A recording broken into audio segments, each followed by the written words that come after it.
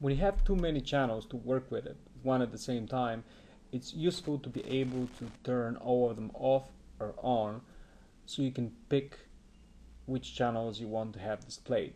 It's usually in AcqKnowledge you just have to hold down the Alt key and click on a channel number and uh, you will be able to display it.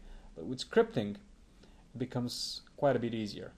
We can run the script here that hides all the channels and then just display channel 2 if that's what we want to see.